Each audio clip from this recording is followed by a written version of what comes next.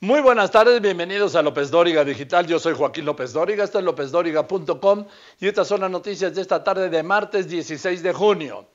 Ejecutan en Colima a un juez federal y a su esposa. Los asesinaron delante de sus pequeños hijos de 3 y 7 años. Se metieron a su casa y los mataron. A este juez le tocaba resolver asuntos penales relacionados con el tráfico de drogas y la delincuencia organizada. Los sujetos armados llegaron, se metieron a su casa y los ejecutaron con esa impunidad. El ministro presidente de la Corte, Arturo Saldívar, interrumpió la sesión virtual del Pleno para dar a conocer la noticia del asesinato del juez y de su esposa y de condenar el crimen. Dijo que revisará la situación de las juezas y jueces para fortalecer las medidas de seguridad. La Fiscalía General de la República ya trajo la investigación.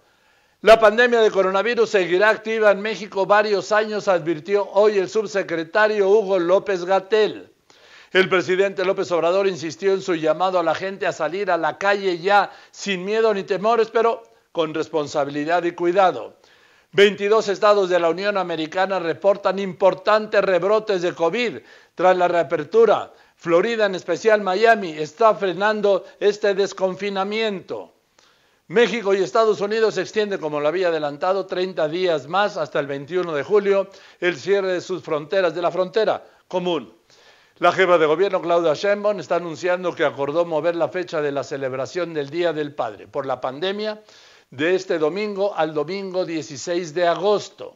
Una señal de que aquí todavía estamos en riesgo. El presidente dijo que no atendió ayer a familiares de víctimas de desaparecidos que le pedían audiencia. Y al salir de la zona militar del cuartel en, en Jalapa, en Veracruz, para no exponerse ni exponerlos. Ahí el descuido fue la falta de oficio del gobernador de Veracruz, también morenista, Cuitlagua García.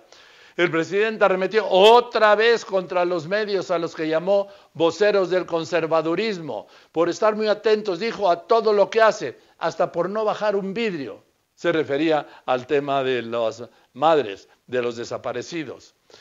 Anunció que el SAT ha descubierto un fraude por 48 mil millones de pesos cometido por empresas factureras en complicidad con funcionarios federales de los dos sexenios anteriores. Ojalá y caigan las grandes factureras que han hecho unas, unas fortunas inconmensurables y que caigan quien tenga que caer.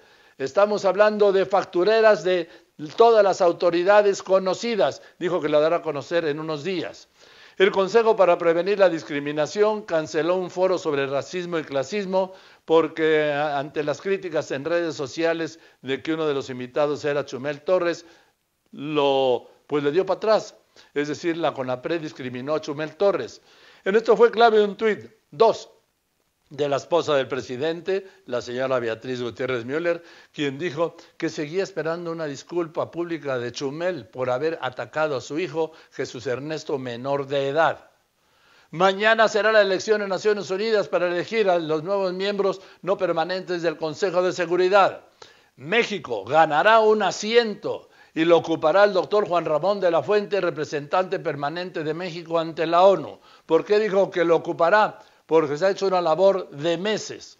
En ese momento el dólar interbancario se está vendiendo en 22.32 y en ventanillas se vende, bueno, se está cotizando en el mundo en 22.32 y aquí en México en ventanillas se vende en 22.59. Yo soy Joaquín López Dóriga, esto es lópezdóriga.com y usted está informado. Gracias.